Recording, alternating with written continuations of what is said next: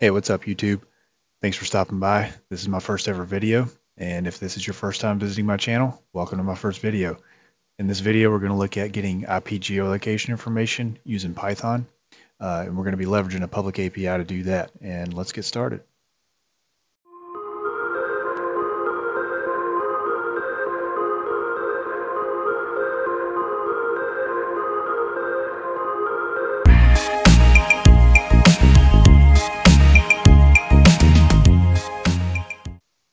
Right, so we get started with our typical shebang line. And we need to import the request library.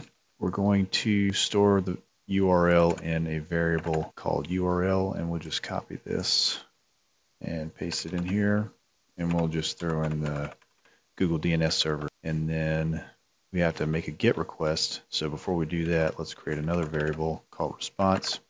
And it'll be request.get and our URL and then we'll print response python 3 geolocate.py and we get a 200 response so that's good. So we're going to say response.text and there we go. And just because we can let's pipe it into JQ what if we want to actually query another address? Well we don't want to manually change uh, this IP address up here. So what we can actually do is import another library called argparse. So let's define a function called get args. And in here, we're going to create a parser object. And then here we want to add parser.add underscore argument, and then our argument. Then we have to give it a destination. Our destination we're going to call IP. And then to give it a little help menu option, we'll say IP address to look up. All right, and now we're going to parse the arguments and we're going to store that in a variable called options. And then we want to return options. We have to call our get args function. So we're going to say options equals get underscore args. And then for the URL, instead of doing this here, we can do an f string and we can say options.ip and we're going to make that an f string. Let's do this and we'll we have an argument now, so we have to give it an argument of dash i. So we'll say 8.8.8.8, and we get some JSON. Let's try a different one. 4.2.2.2. And there we go. Now, uh, let's look at the actual fields portion of this real quick, just to see what kind of fields we have. So these are the defaults if you use the numerical notation, but there's actually more options than that here. So let's just choose a few and we're going to say question mark fields equals, let's say we want the country, the region name, the city, latitude, longitude, and let's go with ISP. So now when we do this, and I'm actually, I'm going to pipe this into JQ again. We get only the six that we specified rather than everything. So that's pretty neat. So now let's actually make this a function uh, to make this a little bit easier to work with because eventually we're going to want to pass in a list. And to take it in as a list, we're going to want to be able to call the function every time instead of having to run through all this stuff here. Let's see here. Let's create a, another variable. We'll call it uh, located list. And this is going to be used later so we can kind of ignore this for now. But we're going to create a function we'll call it locate. And we want to actually take in an object. And we're going to say our IP is equal to options.ip let's go ahead and set our URL we'll add that in. So now we want to take in the IP address and we, we need a way to track that so when we get to the part where we create a list and we're querying a list, we need a way to track that information. Uh, the best way to do that is to create a dictionary. But before we do that, we actually need to, since we're using JSON data here, we're going to store the response data in a variable called response data, and we actually want response dot JSON. So that gives us a nice way to work with this data that gets returned, especially later once we have a list of IP addresses. And then we're going to say IP underscore data is going to be a dictionary. And the key is going to be IP underscore address. And the value is going to be IP. And once we do that, we're going to combine the response data, uh, JSON data with the IP data dictionary because the JSON um, the JSON object that we get in response is, is going to be like a dictionary key value uh, pairs. We're going to store this in results and we're going to say two asterisks IP underscore data. So this will be the key of our um, our new dictionary and then double asterisk response underscore data. So these will be the values. So these two asterisks here, these are a way that you can order a dictionary and combine two dictionaries. So you you set the order based on where you want the key value pairs, but when you give the two asterisks in front of the key and the value, it says, hey, I want the IP data dictionary to be the key, and I want the response data to be the value, and it will kind of uh, combine those two in their respective uh, key value locations in those dictionaries. And then after that, we have to append our located list and we're going to append results. We're going to print the response.text and then actually we need to do one more thing. We need to call our function. So let's call our locate function on options.ip. And now when we come down here and we say python 3 geolocate.py dash i, uh, let's go with a different IP address this time. Let's say, I don't know, 103.88.54.23.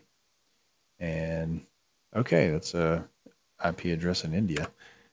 And if we pipe into JQ, we get all of our information. So that's cool. So now we have a locate function.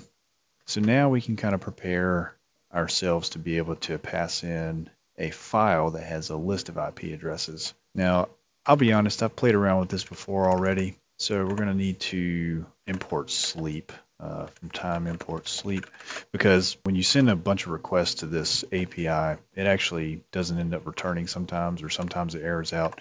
So we want to be able to slow that down so we don't cause a denial of service or you know, it's not really going to take down the server, but it, it has the same effect. You'll, you won't be able to query all the information you want, especially if you have a large list. So we're going to say sleep for two seconds. And I'm going to go ahead and comment this out because we're not going to need that. Let's create another function. And we're going to call it process underscore file. And we're going to take in a file. Let's not call it file. Let's call it IP file. Okay, so let's define another list. And this one we're going to call IP list. And here we need to open our file. So we'll say with open options.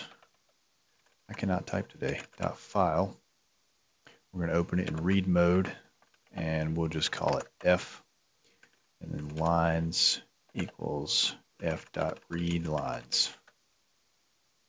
So now we have um, we have our context manager to open our file, which is nice because then we don't have to actually close the file when we're done. After it you know goes through this with statement, it, it will automatically close the file. So we're going to take in our file and read the lines into the variable lines, and so we'll say for line in lines and I'm struggling. IP underscore list dot append.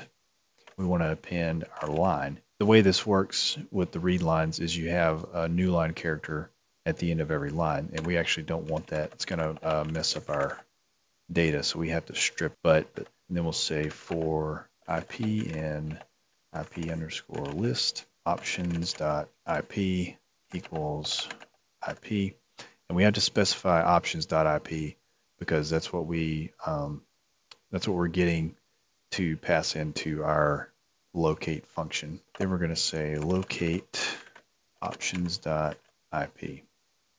And actually where we call this function here, we're going to end up getting rid of that.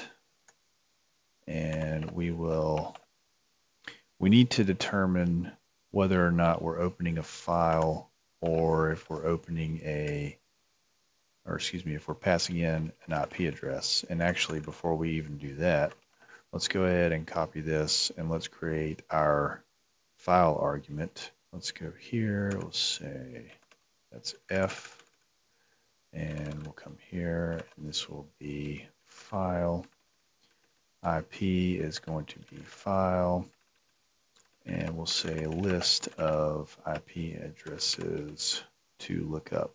So now we have um, our options are dash I and dash F. Now we need to, how are we going to handle this? We'll say if options dot IP and we'll do this here. We'll do our locate and we'll say elif elf great movie. Options dot file. Put in the comments if you think elf was a great movie or if you disagree. Doesn't matter to me. I thought it was pretty hilarious. Process underscore file. And we're going to process options dot file. And that should be it. So now we can print our located list. And let's cross our fingers and hope this works. So let's go ahead and use our IP option again just to make sure. Okay, we got something there. Invalid numeric literal. Let's try without JQ because we don't need JQ for this. Okay, so that actually did work. So you can't pipe it into JQ uh, when you're doing it this way. So that's nice. All right, so we have that, and now let's um, let's make a uh, file. We'll call it list.txt, and we're just going to put in some IP addresses. And what was our other thing? 108. Dot, I don't remember. 92.76.45. How about that?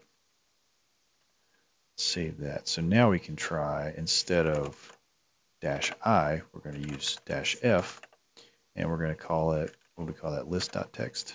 Look at that. So we have in our first dictionary, we have our IP address and our first address, 8.8.8.8. Our second key value pair we have is our 4.2.2.2.